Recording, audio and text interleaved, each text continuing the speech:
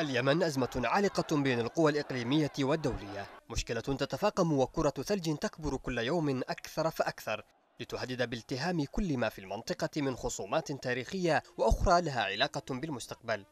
أكثر من ثلاثة أعوام مرت من عمر الأزمة اليمنية دون أن تجد منفذا للخروج من نفق الحرب التي اتسعت رقعتها وتداخلت أهدافها. البدايات التي رافقت الأزمة اليمنية نمت أكثر على هامش الصراع الذي شهد صراعات صغيرة داخل تكتلاته وتجاوز الحدود اليمنية ليصل إلى ما هو أبعد بكثير منها. تجلى انقسام التحالفات المعلنة خلال جلسة في مجلس حقوق الإنسان حين رفضت عشر دول عربية التصويت مع قرار تقدمت به السعودية بإدانة الانتهاكات الإيرانية لحقوق الإنسان. الصادم في الأمر بالنسبة للسعودية هو أن بين تلك الدول حلفاء بارزين لها كمصر التي هي عضو في اللجنة الرباعية العربية المعنية بالتصدي للتدخلات الإيرانية في الشؤون الداخلية العربية التي تضم مصر والسعودية والإمارات والبحرين. سوريا ولبنان وسلطنة عمان والعراق رفضت ذلك القرار قطعيا وجميعها لديها ملفات وحدود مشتركة وشائكة مع السعودية وهو ما يزيد من كلفة المخاطر التي تواجه التحالف الذي تقوده الرياض في مواجهة طهران.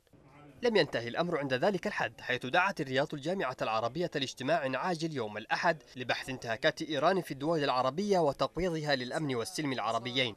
الدعوة للاجتماع بعدما حدث في مجلس حقوق الإنسان تثير الكثير من التساؤلات حول عدم القدرة على التخطيط المسبق والتنسيق بين الدول العربية حول تصورات كل دولة على حدة أو بشكل جماعي على ما تمثله إيران من تحد لكل دول المنطقة.